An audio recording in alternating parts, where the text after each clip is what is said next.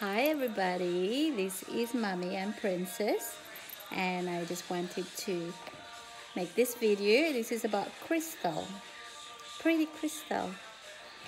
You don't have to believe that it has a healing property but I believe that they do have healing property and they're pretty to look at as well.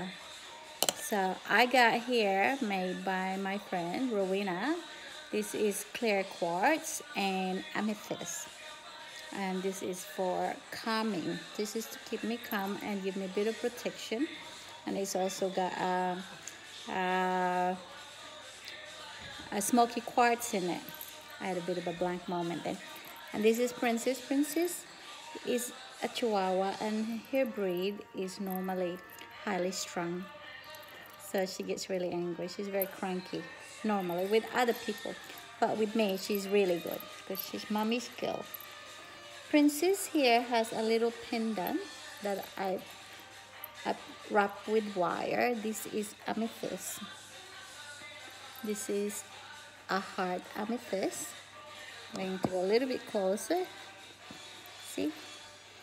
Just bought it from the lady that I where I usually get my my incense from.